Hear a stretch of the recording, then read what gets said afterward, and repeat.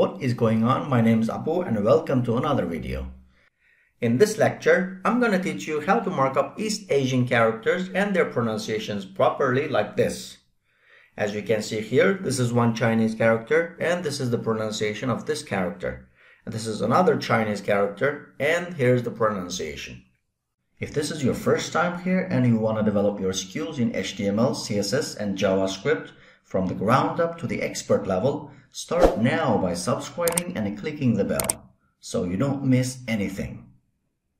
Here on the left I opened up the HTML document I created for this lecture using Visual Studio Code and on the right I opened up the same HTML document with Google Chrome.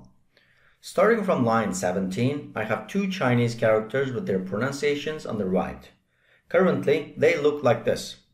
And let's mark them up properly so that each pronunciation will display on top of each character. First, we need to wrap all the Chinese characters with HTML Ruby tag. The opening HTML Ruby tag looks like this, starting with left angle bracket, Ruby, and right angle bracket. And the closing HTML Ruby tag looks like this, starting with left angle bracket, forward slash, Ruby, and right angle bracket. After that, we need to mark up all the pronunciation text with HTML Ruby text tag. So the opening Ruby text tag looks like this, starting with left angle bracket, RT, and right angle bracket.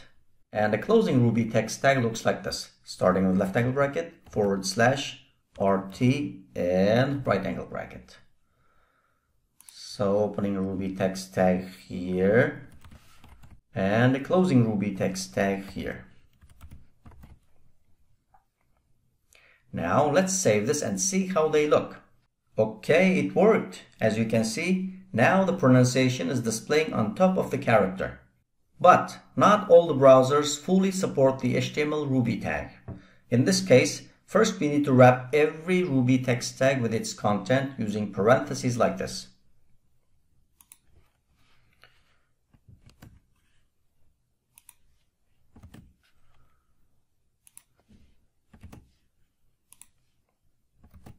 And after that, we need to mark up every opening and closing parentheses with Ruby fallback parentheses tag like this. So the opening Ruby fallback parentheses tag looks like this, starting with left angle bracket, RP, and right angle bracket. And the closing Ruby fallback parentheses tag looks like this, starting with left angle bracket, forward slash, RP, and right angle bracket. So the opening Ruby fallback parenthesis tag here. And closing Ruby fallback parenthesis tag here. And opening Ruby fallback parenthesis tag here. And the closing Ruby fallback parenthesis tag here. And last one, the opening Ruby fallback parenthesis tag here and closing Ruby fallback parenthesis tag here.